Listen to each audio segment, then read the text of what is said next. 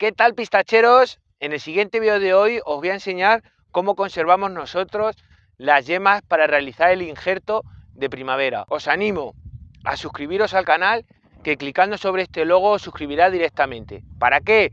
Para que cuando subamos el vídeo de la activación de dichas varetas seáis los primeros en recibir esa información. Así que nada, vamos a ello.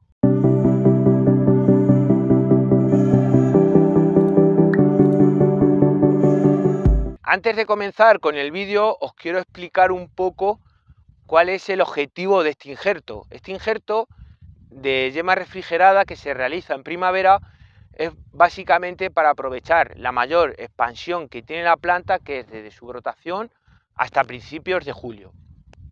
Por lo cual, si realizamos el injerto a principios de mayo o a mediados de mayo, dependiendo de la zona geográfica que nos encontremos, podemos llegar a que si nos prende ese injerto, llegar a la altura necesaria para su posterior despunte a otro año. O bien podemos realizar dos injertadas más aparte de las del verano, lo cual nos puede conllevar a tener una plantación más homogénea, porque estamos realizando dos injertos con yema refrigerada. En mayo, incluso eh, hasta mediados de junio, podemos hacer injertos con este tipo de yema como los que hacemos a posterior en verano con yema ya de verano, tanto en julio, agosto y septiembre. Pueda quedar en toda su totalidad la plantación injertada. Estas prácticas que nosotros realizamos es en base a 5 o 6 años que hemos estado nosotros por nuestra cuenta investigando, eh, probando, fallando, probando nuevos métodos y lo que os voy a enseñar es cómo nosotros realizamos esa conservación y a posterior su, su activación. Eh, no hay nada escrito, es básicamente lo que nosotros hemos ido aprendiendo en estos años que llevamos investigando con este injerto, que, cuando comenzamos tuvimos un 10%, subimos a un 20%, volvimos a bajar porque ah, hicimos malas prácticas y ahora ya nos hemos mantenido en ese 70% y es por lo tanto por lo que quiero compartir este vídeo, porque ya realizar una injertada y tener un, un prendimiento del 70%, pues la verdad es que lo consideramos un éxito y en especial con este tipo de injerto.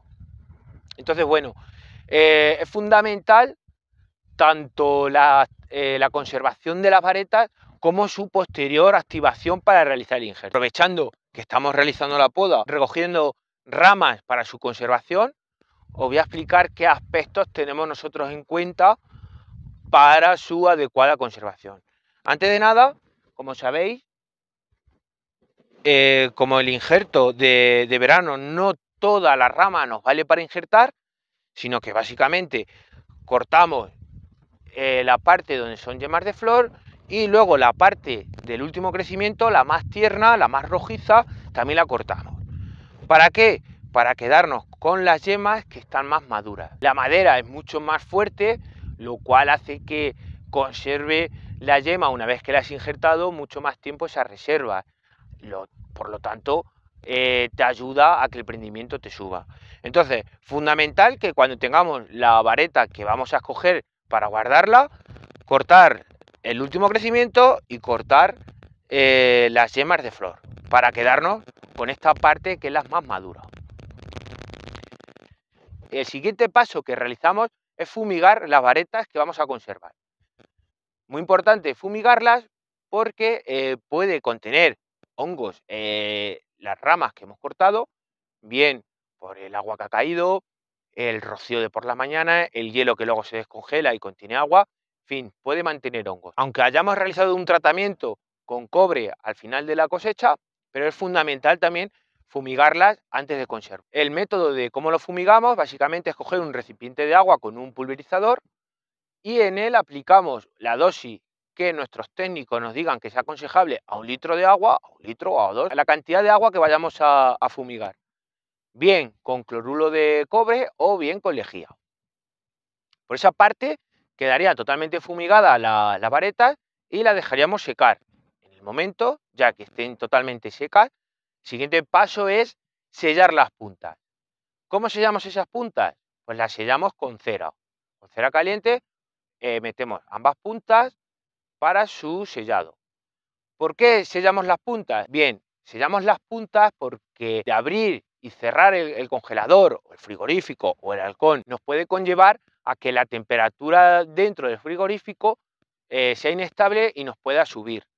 Nos pueda subir y hace que la vareta se active por un momento y fluya la savia. Y si fluye esa savia y nos cae al resto de varetas donde hemos hecho el paquete, cuando luego volvamos a cerrar y baje la temperatura y se congele, nos pueda congelar las yemas y esas yemas, como es lógico, las tendremos que tirar. Entonces es fundamental el sellado de las puntas.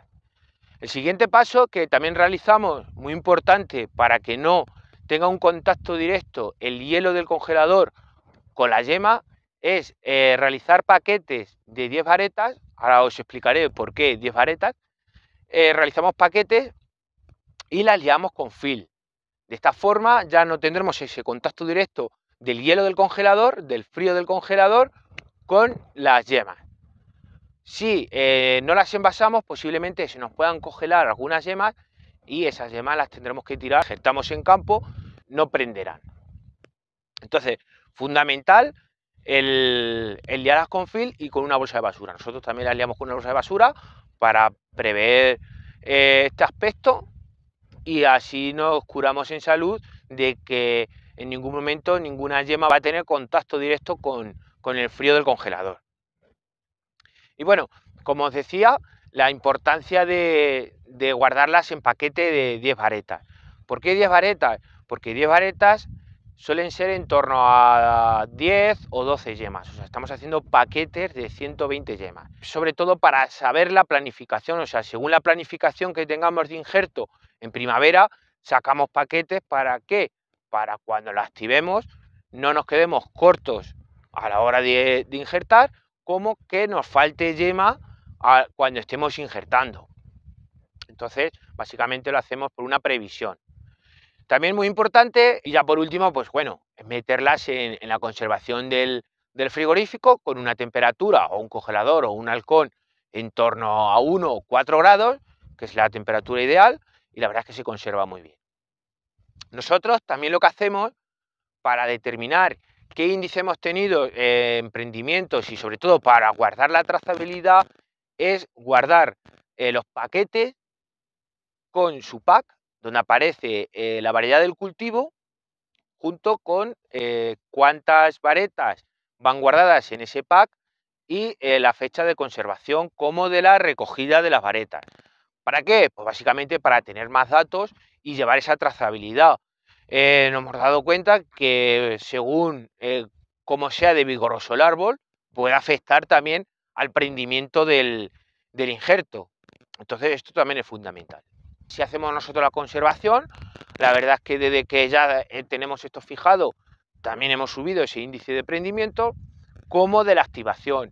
La activación es lo que os enseñaré en el siguiente vídeo para enseñaros eh, cómo activamos las varetas, el tiempo que las tenemos activando, cómo extraemos luego la yema, porque cambia un poco a la extracción del verano.